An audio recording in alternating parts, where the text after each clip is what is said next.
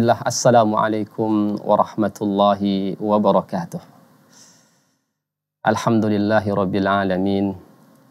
Wal akibatu lil muttaqin fala udwana ila ala zalimin. Ashhadu an la ilaha illallah wahdahu la syarika lah. Wa ashhadu anna Muhammadan abduhu wa rasuluh Wassalatu wassalamu ala nabiyyina Muhammadin wa ala alihi wa sahbihi ajmain amma. Saudaraku kaum muslimin dan muslimat yang dimuliakan oleh Allah Azza wa Jal. Alhamdulillah di kesempatan kali ini kita masih diberikan topik dan hidayah oleh Allah. Sehingga kita masih dimudahkan untuk membaca firman Allah dan hadis Nabi-Nya Sallallahu Alaihi Wasallam yang mudah-mudahan apa yang menjadi bacaan kita dan pendengaran kita menambah iman dan ketakwaan kita di sisi Allah Subhanahu wa taala. Salawat dan salam semoga Allah senantiasa limpahkan kepada Nabi-Nya Muhammad sallallahu alaihi wa ala alihi wa sahbihi wasallam. Saudaraku kaum muslimin dan muslimat yang dimuliakan oleh Allah Azza wa Jalla, Kembali kita akan membaca dari bacaan kita di kitab Bulughul Maram. Kita masih di Kitabul Jami di Babul Adab. Dan insya Allah kita akan lanjutkan dari bacaan kita di hadis yang ketiga, saudaraku.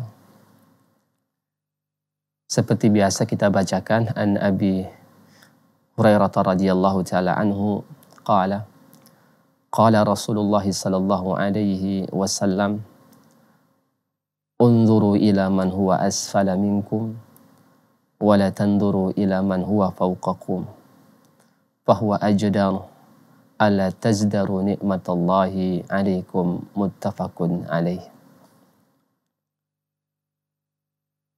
Qala muallif rahimahullah an Abi Hurairah radhiyallahu taala anhu dari sahabat seorang sahabat Nabi yaitu Abu Hurairah. Semoga Allah meridainya. Dia berkata Qala Rasulullah sallallahu alaihi wasallam Nabi sallallahu alaihi wasallam bersabda Unduru ila man huwa asfala minkum. Lihatlah kepada mereka yang berada di bawah kalian.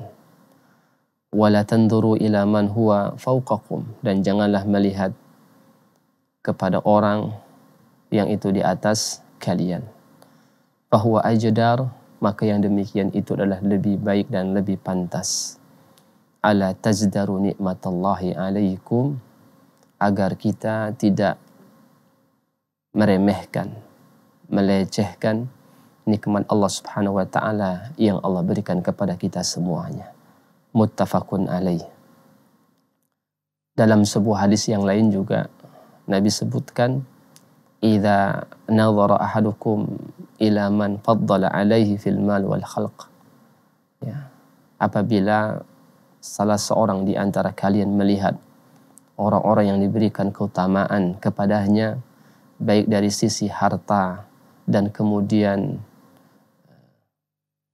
fisik ataupun rupanya falyanzur ila man huwa asfalamin maka hendaklah dia melihat kepada orang yang di bawahnya maka ini juga hadis yang semisal dengan hadis yang kita bacakan.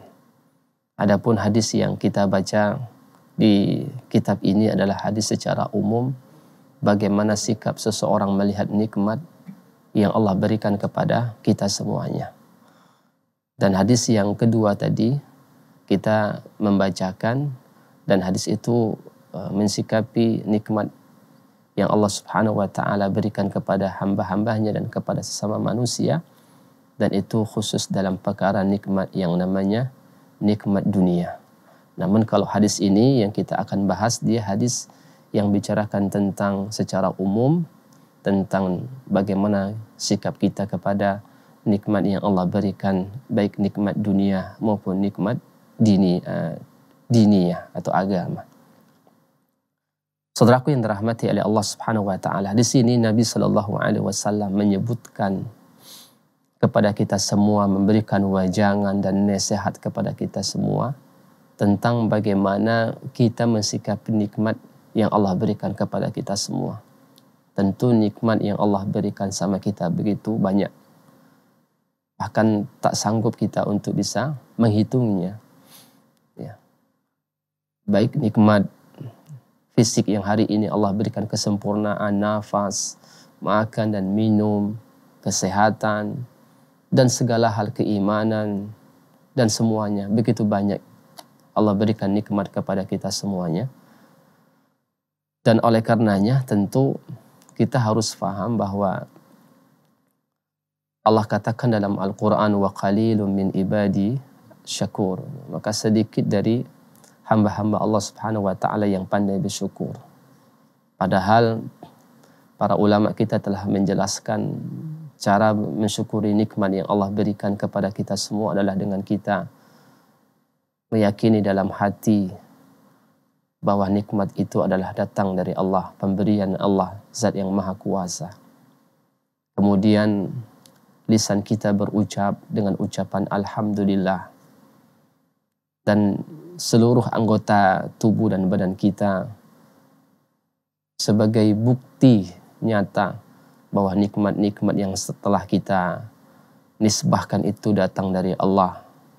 Kita ucapkan dengan Alhamdulillah, maka anggota seluruh badan kita mudah-mudahan nikmat itu bisa membantu menjadikan dia sebagai wasilah untuk mendekatkan diri kita kepada Allah Subhanahu wa taala dan menjauhi apa yang Allah Subhanahu wa taala larang. Maka oleh karenanya penting buat kita membaca hadis ini agar kita tidak mensepilihkan atau tidak meremehkan meremehkan nikmat yang Allah berikan kepada kita semua. Ya, kita sepakat bahwasanya nikmat Allah itu begitu banyak. Tanpa tak bisa kita menghitungnya saudaraku. Allah katakan wa in ta'udu ni'matallahi la tuhsuha. Kalau kalian menghitung nikmat Allah tidak akan sanggup kita menghitungnya. Maka di sini Nabi Shallallahu Alaihi Wasallam memberikan sebuah solusi terbaik di mana Nabi mengatakan unzuru lihatlah dan tentu cara kita melihat di sini adalah bukan melihat dengan mata kasat mata itu saja sebagaimana Syekh Muhammad bin Saleh Al Utsaimin melihat di sini adalah bil basari bil basirah ya dengan ilmu bukan hanya sekedar mata kita melihat tetapi bil basirah bil ilm dengan ilmu saudara yang dirahmati oleh Allah Subhanahu wa taala. Dan Nabi Shallallahu alaihi wasallam menyebutkan ila man huwa asfala minkum. Maka kita melihat dengan ilmu tentang nikmat-nikmat Allah Subhanahu wa taala kepada orang yang di bawah kita. Dan nikmat Allah Subhanahu wa taala baik nikmat yang sifatnya itu an-ni'matu diniyah ya nikmat yang sifatnya adalah agama atau nikmat yang sifatnya duniawi atau sifatnya dia duniawi Apa contoh nikmat yang Allah berikan yang sifatnya dini ya seperti Allah memberikan keimanan buat kita atau Allah Subhanahu wa taala memberikan kecerdasan buat kita Allah memberikan akhlak yang baik buat kita. Allah memberikan ilmu yang baik buat kita. Itu di antara nikmat agama. Adapun nikmat eh, dunia ya seperti kita diberikan harta lebih, keturunan yang banyak, kemudian fisik yang baik, dan nikmat-nikmat harta yang lainnya dan itu di antara bentuk semisal nikmat eh, dunia. Nah di sini Nabi Shallallahu Alaihi Wasallam memberikan sebuah wejangan yang menarik buat kita kata Nabi Shallallahu Alaihi Wasallam unzuru lihatlah. Bil basirah bil ilm. Bukan hanya sekedar kasat mata saja tetapi bil basirah bil ilm. Ke mana kita melihat? Yaitu ke bawah kepada orang di bawah kita baik dari sisi nikmat yang Allah berikan dari sisi agamanya ataupun dari sisi duniawinya, maka lihat orang yang di bawah kita. Nah, kemudian Nabi Shallallahu Alaihi Wasallam menyebutkan alasan kenapa kita diperintahkan oleh Nabi Sallallahu Alaihi Wasallam untuk melihat orang yang berada di bawah kita dan tidak melihat orang yang di atas kita tentang masalah nikmat.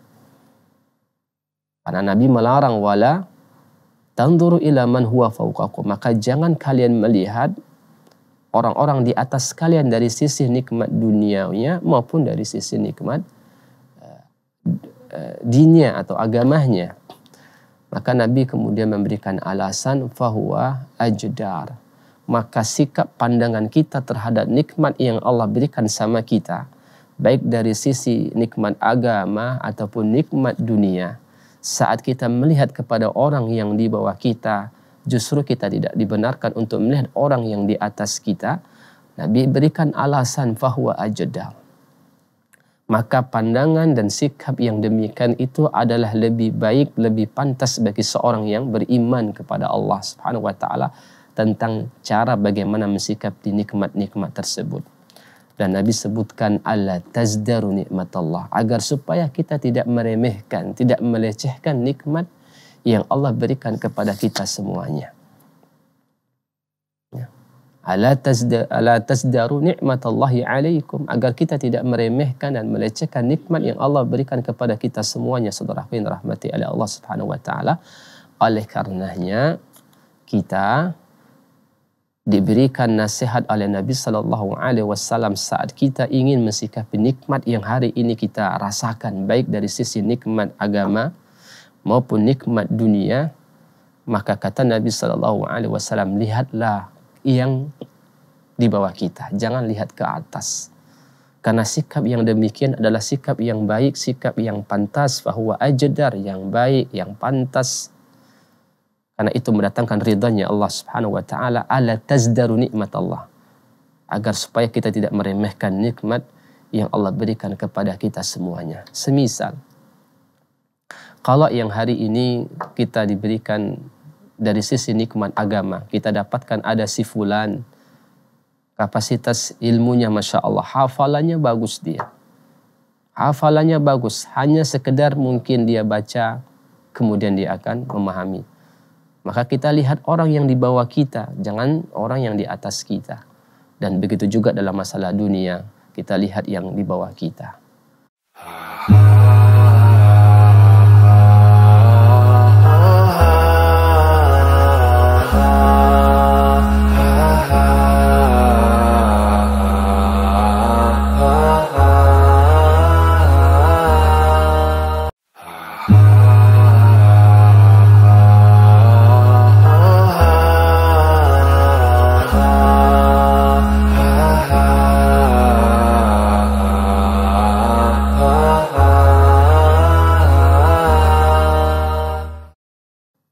Saudaraku kaum muslimin dan muslimat yang dimuliakan oleh Allah Azza wa Jalla. Bahwa kita memahami Nabi Shallallahu Alaihi Wasallam memberikan sebuah sikap yang baik saat kita menghadapi nikmat yang Allah berikan kepada kita semua. Entahkah nikmat dia agama atau nikmat dunia. Sebagai contoh saudaraku yang kita muliakan. Namun sebelum itu kita memahami bahwa tidak diragukan bahwa Allah Subhanahu wa taala ya menjadikan manusia itu pasti berbeda-beda tingkatannya. Ya. Cantik ada yang cantiknya 90% tapi ada cantik yang 70%. Begitu pula ada yang buruk tapi buruknya ada yang 10%, ada yang 90%. Berbeda-beda mutafawid. Begitu juga manusia kita lihat kepintarannya juga ada yang berbeda-beda. Ada yang 60 atau yang 70. Begitu pula dalam sisi harta juga ada yang banyak, ada yang sedikit atau ada yang pertengahan. Artinya Allah Subhanahu wa taala e, menciptakan dan memberikan nikmat kepada manusia itu berbeda-beda tingkatan. Bahkan dalam hal fisik saja kalau kita melihat ada seseorang di tengah-tengah kita kembar kita katakan kembar dalam sisi fisik. Dia rambutnya mukanya semuanya kita katakan kembar. Dua orang kembar. Di situ saja kalau kita telaah dan kita melihat pasti ada ke, pasti ada perbedaan di antara mereka. Meskipun mereka itu sama dari dari dari fisiknya tetapi kita akan bisa melihat perbedaan di antara mereka. Entahkah dari kecerdasannya, nikmat agamanya, atau dari sisi yang kita katakan pasti rambutnya mungkin ada yang agak keriting, ada yang agak lurus. Artinya Allah ciptakan manusia itu pasti dia berbeda. Meskipun kalau seandainya kita dapatkan e, manusia itu dia e, apa namanya kembar, tapi pasti ada di situ ada perbedaan di antara mereka. Begitulah Allah Eh, menciptakan dan menetapkan kepada setiap manusia itu berbeda-beda. Maka oleh karenanya inilah solusi bagaimana kita mensikapi nikmat tersebut. Sebagai contoh kalau seandainya kita eh, mendapatkan nikmat eh, agama, semisal kita dapatkan ada si fulan A, dia memiliki akhlak yang begitu baik. Ini nikmat agama ini saudaraku, akhlak yang baik. Si A memiliki akhlak yang baik, mudah senyum, tata tuturnya bagus, bagus dari sisi akhlaknya. Dan kita melihat teman B si fulan, dia akhlaknya tidak baik, selalu kasar dan kemudian kata-katanya juga eh, tidak baik dan perangainya juga tidak baik. Maka dalam sisi ini kalau kita mendapatkan dua posisi nikmat agama ini, yang satu akhlaknya baik, yang satu akhlaknya buruk, maka kita dalam posisi ini kita harus melihat yang di bawah kita. Agar supaya apa? Kita akan mengatakan Alhamdulillah. Saya masih diberikan akhlak yang baik oleh Allah Subhanahu wa taala saat kita melihat ke bawah. Alhamdulillah saya masih diberikan akhlak yang baik oleh Allah Subhanahu wa taala agar supaya kita tidak tidak melecehkan meremehkan nikmat Allah Subhanahu wa taala meskipun kita tidak dilarang untuk kita bisa apa? melebihi akhlak yang diberikan oleh si fulan yang A tadi. Tidak ada larangan. Boleh kita untuk melebihi dari apa yang Allah berikan. Tidak ada larangan. Akan tetapi dari sisi kita melihat nikmat Allah. Dari dua sisi yang tadi Allah berikan nikmat agama tentang masalah akhlak saja. Maka kita harus melihat yang di bawah kita saudaraku. Agar kita kata Nabi Allah tazdaru nikmatallahi alaikum. Agar kita tidak melecehkan nikmat yang Allah berikan kepada kita semuanya. Nah, kemudian contoh dari nikmat dunia, semisal kita dapatkan si fulan, ya, ya, dia memiliki mobil tiga, ya, berjejer atau berparkir di apa, di, di, di salah sudut dari halaman rumahnya. Banyak mobilnya, tiga kita katakan. Itu nikmat yang Allah berikan kepada si fulan ah tadi dari sisi dunia. Namun kita melihat saudara kita, tetangga kita, dia belum memiliki satu pun mobil yang mungkin bertepi atau berparkir di halaman rumahnya. Tidak memiliki.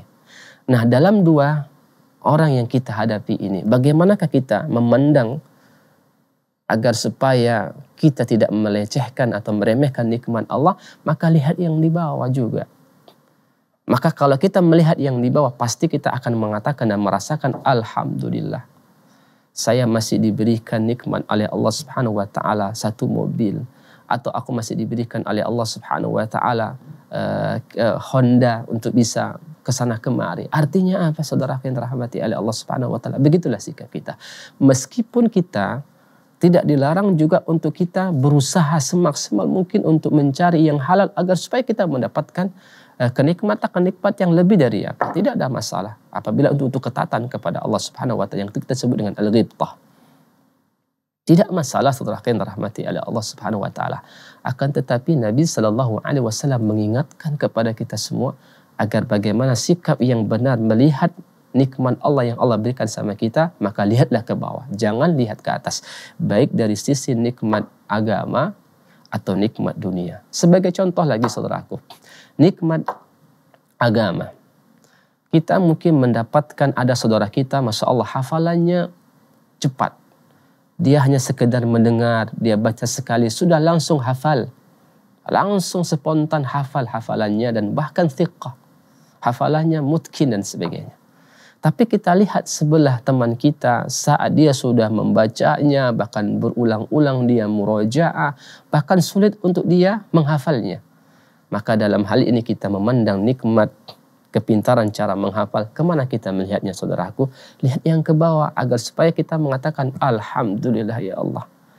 saya masih diberikan kemudahan meskipun hanya eh, 10 menit atau 20 menit saya baca dan ulang-ulang tapi saya masih bisa menghafal.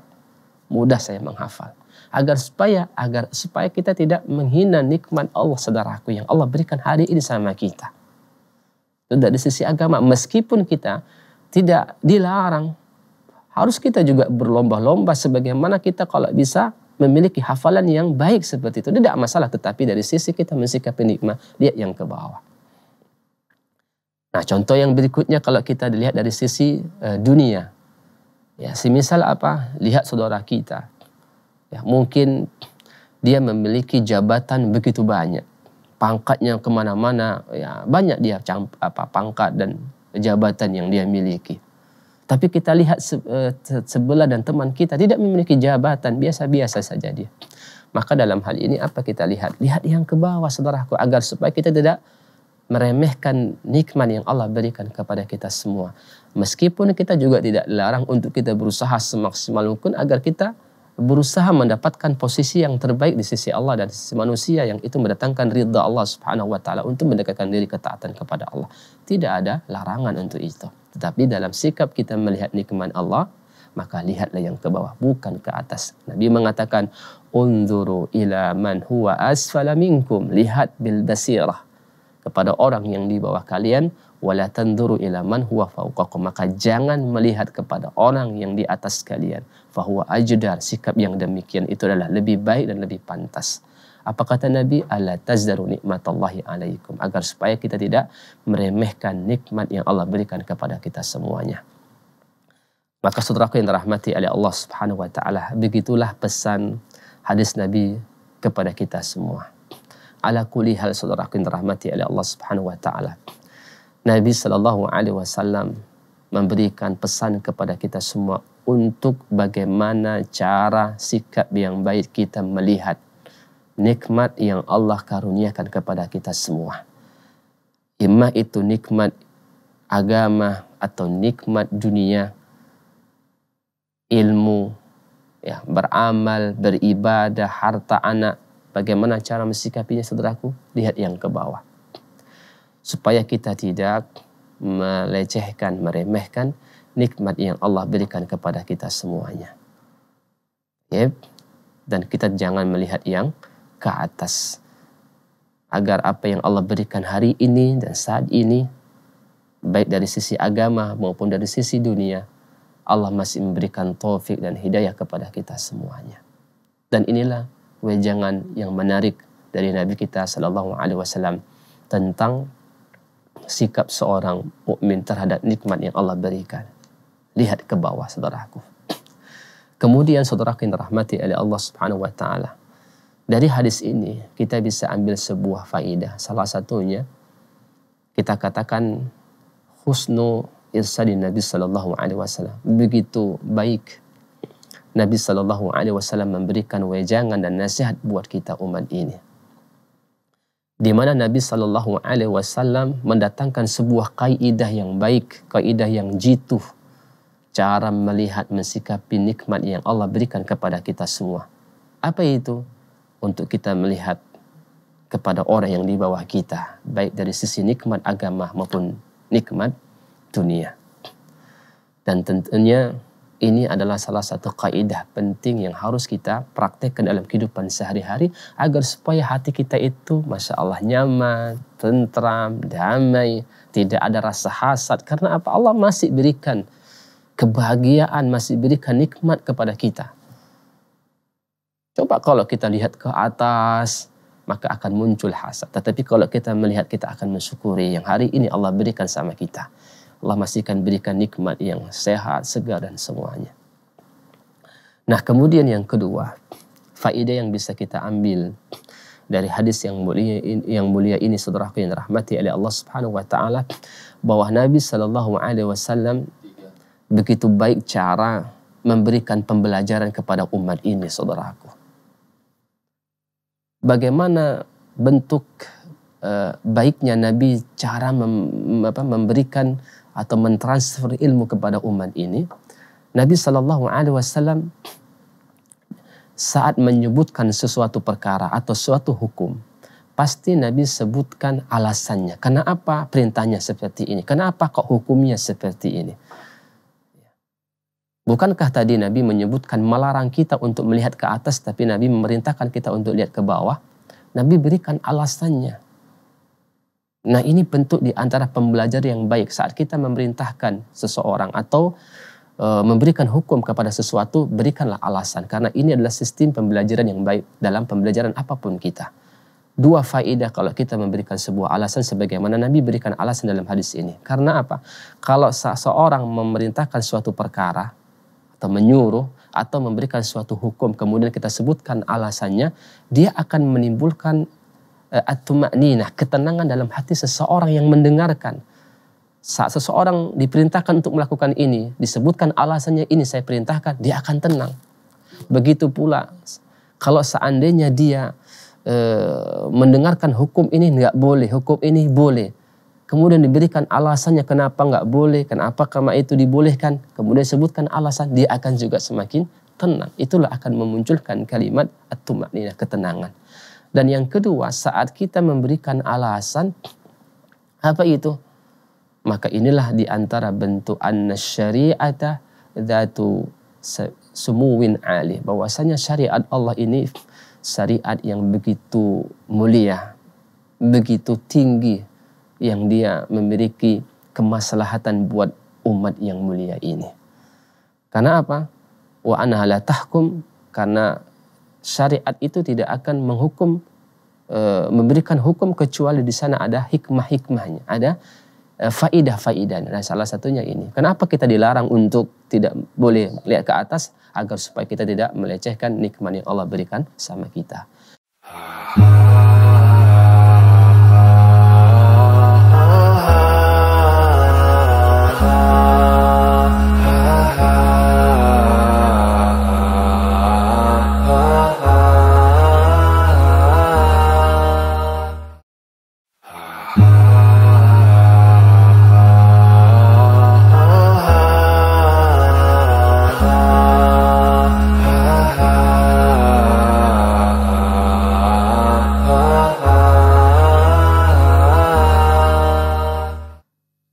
Saudaraku kaum muslimin dan muslimat yang dimuliakan oleh Allah Azza wa Jal.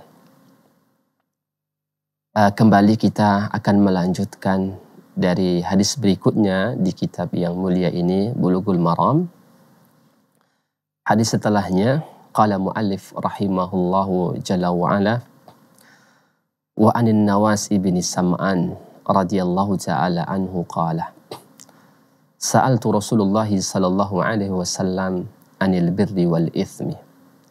Faqala al birru husnul khuluq wal ithmu ma haka fi sadrika wa karihta an yattali'a alaihi nas akhrajahu muslim. Saudaraku kaum muslimin dan muslimat yang kami muliakan. Di sini muallif semoga Allah merahmati beliau berkata dari sahabat Nabi Nawas ibn Sam'an semoga Allah meridainya. Dia berkata sa'altu Rasulullah sallallahu alaihi wasallam anil birri wal ithmi. Aku bertanya kepada Rasulullah sallallahu alaihi wasallam tentang albir yaitu kebajikan wal ithmi yaitu tentang dosa. Faqala kemudian Nabi sallallahu alaihi wasallam mengatakan albirru kebaikan atau kebajikan itu husnul khuluq yaitu akhlak yang baik. Wal ithmu adapun dosa mahaka fi sadrika. Sesuatu yang itu anda bingung dan ragu terlintas dalam hatimu gelisah saudara yang rahmati oleh Allah Subhanahu wa taala. Sesuatu yang membuat Anda gelisah dalam hati Anda. Wa karihta an yattali alaihi nas dan dosa itu engkau sangat benci apabila dosa tersebut atau perbuatan tersebut dilihat oleh manusia hadis akhrajahu muslim. Hadis yang dikeluarkan oleh imam muslim. Saudaraku yang kami muliakan Hadis ini kita melihat bagaimana seorang sahabat yang mulia Nawas ibni Sam'an semoga Allah meridainya. Dia bertanya kepada Nabi Shallallahu Alaihi Wasallam tentang dua perkara yaitu tentang albir wal ithm yaitu tentang kebajikan atau kebaikan dan dosa tentu albiru adalah kebaikan dan al ithmu ya dosa adalah awal lawan dari kebaikan itu sendiri. Dan tahukah kita bahwasanya sahabat yang mulia ini Nawas ibni Sam'an dia bertanya kepada Nabi Shallallahu Alaihi Wasallam tentang dua perkara ini. Apakah untuk li ajli al ilm untuk dia ketahui saja, atau dia ingin amalkan apa yang dia tanyakan kepada Nabi Shallallahu Alaihi Wasallam? amma sahabatu. Tetapi sahabat yang mulia ini Nawas ibni Sam'an. Fala syak. Tidak kita ragukan lagi. Para sahabat-sahabat Nabi Ridwanullahi ta'ala ajma'in hatta Nawas ibni Sam'an dalam hadis yang mulia ini. Mereka itu bertanya kepada Nabi Sallallahu Alaihi Wasallam bukan sebatas ingin tahu saja, tetapi min ajlil amal. Ingin mereka amalkan saudaraku yang rahmati oleh Allah Subhanahu wa taala. Beginilah semestinya. Tidak kita lihat sebagian manusia hari ini. Mereka bertanya kepada tokoh-tokoh dan kepada para ulama, alim ulama. Tetapi mereka bertanya mungkin hanya sekedar mengetahui saja tanpa mereka amalkan. Ada kemungkinan ada saudaraku yang dirahmati Allah Subhanahu wa taala. Coba perhatikan bagaimana sosok sahabat yang mulia ini Nawas ibn Sam'an. Mereka bertanya kepada Nabi Shallallahu Alaihi Wasallam bukan untuk sekedar ilmu, mengetahui saja. Tetapi mereka bertanya kepada Nabi Shallallahu Alaihi Wasallam di ajalil amal. Untuk mereka amalkan saudaraku yang kita muliakan. Maka semestinya kita hari ini khususnya bagi tulabul ilmi menelaah, membaca, belajar dan bertanya tentu bertanya itu adalah salah satu adalah khutwah langkah kita belajar. As-soal ya, dawaul ain itu ya. ya. karena bertanya itu adalah obat bagi yang ya, bagi yang nggak tahu yaitu yang bodoh maka kita bertanya tapi li ajli al amal. Bukan sekedar kita mengetahui tapi kita untuk kita amalkan. Bagaimana antusias sahabat Nabi ridwanullahi taala ajmain yang mudah-mudahan kita bisa diberikan taufik oleh Allah untuk mengaplikasikan bagaimana uh, salah satu potret gambaran gambaran sahabat Nabi dalam hal ini Nawas ibn Samad dia bertanya kepada Nabi tetapi untuk mereka amalkan. Dan kemudian mereka bertanya jika itu keburukan agar apa? Untuk mereka jauhi. Jika itu kebaikan mereka lakukan, jika itu keburukan mereka jauhi. Semakna dengan perkataan Hudzaifah, sahabat yang mulia juga radhiyallahu taala anhu. Dan ini perkataan Hudzaifah ma'ruf indana. Kana nas yas'aluna Rasulullah sallallahu alaihi wasallam anil khair. Manusia bertanya kepada Rasulullah Sallallahu Alaihi Wasallam akan kebaikan. Wa kuntu as'aluhu anisyar. Sedangkan aku kata Hudzaifah radhiyallahu taala anhu bertanya kepada Nabi Sallallahu Alaihi Wasallam tentang keburukan apa itu makhafatan an yudrikani. Aku khawatir aku jatuh atau terpleset ke dalam keburukan dan kesalahan tersebut. Begitulah potret gambaran sahabat-sahabat Nabi Ridwanullahi taala ajmain. Mereka sangat antusias. Belajar bersama Nabi Shallallahu alaihi wasallam bahkan keberadaan Nabi Shallallahu alaihi wasallam mereka manfaatkan dengan mujalasah. Duduk bersama Nabi dan bertanya kepada Nabi Shallallahu alaihi wasallam dan bertanyanya mereka itu untuk apa? Untuk mereka amalkan jika kebaikan mereka lakukan jika itu keburukan mereka untuk mereka jauhi sebagaimana Hudzaifah radhiyallahu taala anhu manusia-manusia di zaman Rasulullah bertanya kepada Rasulullah tentang kebaikan supaya mereka lakukan. Tetapi aku menanyakan kepada Rasulullah tentang keburukan. Makhafatan an yudrikani. Aku khawatir keburukan dan kejelekan itu aku terjatuh, terpleset ke dalamnya. Karena begitulah manusia. Mungkin hari ini kita kuat istiqomah, tapi belum tentu masa depan kita Allah memberikan jaminan untuk itu. Maka belajar dan belajar mana itu keburukan untuk kita jauhi, mana itu kebaikan untuk kita amalkan. Saudaraku yang rahmati oleh Allah Subhanahu wa taala. Begitulah hadis yang mulia ini di mana Nawas ibn Sam'an semoga Allah meridai dia mengatakan sa'altu Rasulullah sallallahu alaihi wasallam anil birri wal itsm. Aku bertanya kepada Nabi sallallahu alaihi wasallam tentang kebaikan dan dan dosa.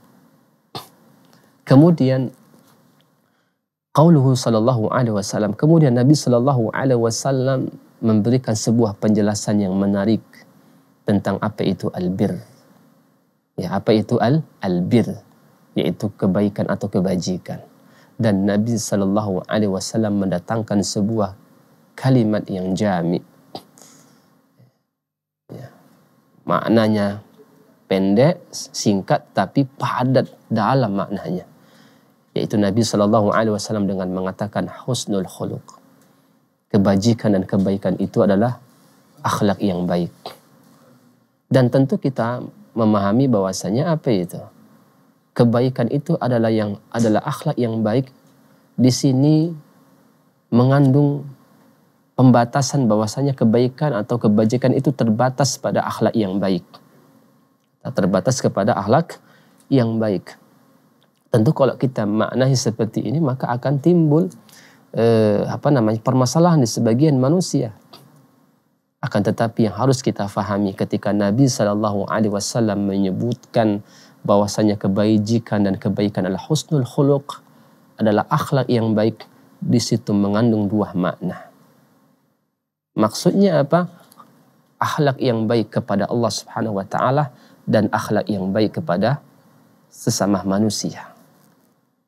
Jadi akhlak yang baik ini baik kita kepada Allah Subhanahu wa taala ataupun akhlak yang baik kita kepada sesama manusia. Sebagaimana kita uh, jelaskan tentang uh, Kitabul Jami sebelumnya bahwasanya Kitabul Jami itu tidak hanya khusus bicara tentang uh, bab-bab tertentu tapi banyak berbicara tentang bab-babnya nanti. Dan di awal dengan babul adab. Bab adab kita sepakat semalam adab itu adab kepada Allah dan adab kita kepada sesama manusia dan adapun Nabi sebutkan al-birru kebajikan dan kebaikan. Husnul khuluq yaitu akhlak kepada Allah dan akhlak kita kepada sesama manusia.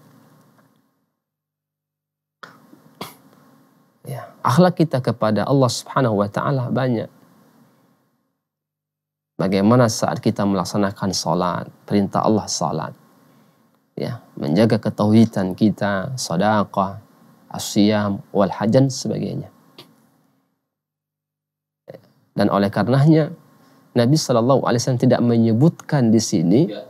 bahwasanya albirru husnul khuluq itu adalah uh, adab sama Allah saja, tetapi Allah Nabi sebutkan secara umum yaitu husnul khuluq baik husnul khuluq kepada Allah maupun husnul khuluq kepada sesama manusia itu hamba-hamba Allah Subhanahu wa taala. Maka di situlah masuk husnul khuluq kepada Allah, masuk husnul khuluq kepada sesama manusia. Seperti kita apa husnul khuluq kita kepada Allah? Ya kita melaksanakan apa yang menjadi perintah Allah. Menjaga ketauhidan kita salat dan perkara-perkara yang wajib dan meninggalkan larangan Allah. Dan kemudian hati kita tidak apa namanya sempit. Ya, kita harus menerima dengan selapang-lapangan karena itu perintah Allah dan ini larangan Allah Subhanahu wa taala. Begitulah kita akhlak kepada Allah Subhanahu wa taala. Adapun kita akhlak kepada sesama manusia, ya seperti kita harus ya, ya senyum, ya kan, kemudian mudah menolong sesama manusia, tidak mengganggunya, dan kemudian kita dengan wajah yang berseri-seri dan ini bentuk di antara kebajikan dan kebaikan dan itu akhlak kita sama manusia. Intinya setelah yang dirahmati oleh Allah Subhanahu wa taala Nabi sebutkan al, al birru husnul khuluq kebaikan atau kebajikan dan akhlak yang baik adalah akhlak kita kepada Allah dan akhlak kita kepada sesama manusia. akhlak kita kepada Allah menjauhi larangan Allah dan melaksanakan perintah-perintah Allah dan akhlak sesama manusia tidak boleh kita mengganggunya dan kita harus membantunya dengan muka berseri-seri dan sebagainya.